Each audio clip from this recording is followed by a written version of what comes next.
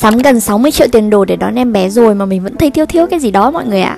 Hôm nay đi làm về, bố cháu lại bắt thêm cái gì cho mẹ con cháu đây? Thấy ông bảo là đây là quà của chồng tặng cho hai mẹ con, Máy lọc nước của AO Smith. Đó, sắm nhiều thứ mà tôi quên mất máy lọc nước mọi người ạ. Ừ, em nó nhỏ gọn đã, ưng ơi là ưng rồi nha. Để review một chút về em nó cho các bác xem. Em này thì phù hợp với gia đình lên đến 7 thành viên lận. Em nó thì có màng lọc RO Side trim khác biệt được thương hiệu AO Smith sáng chế độc quyền luôn.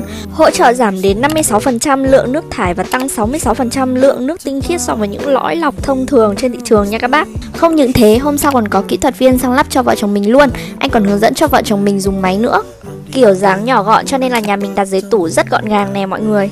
Vòi nước điện tử thông minh nên là nhìn rất là hiện đại các bác nhỉ Em máy lọc nước AO Smith G2 này thì sử dụng cút nối. Với thiết kế thông minh hạn chế gãy, hư hỏng, dò dỉ nước trong khi sử dụng Nên là rất là yên tâm khi sử dụng nha các bác ơi. Đó từ giờ thì vợ chồng mình có thể sử dụng nước uống trực tiếp tại vòi mà không cần đun. Đúng là mua máy gì thì mua, cũng không thể quên được mua máy lọc nước nha các bác ơi. Bởi vì nguồn nước thì chúng mình dùng rất là nhiều trong cuộc sống sinh hoạt hàng ngày đó, ngày nào trong phòng mình thì mình cũng phải chuẩn bị một chiếc bình 2 lít để uống nước này mọi người. Từ giờ thì không phải đun nước và đợi nước nguội nữa mà có thể lấy trực tiếp nước tại vòi luôn. Và bây giờ enjoy và đón em bé thôi.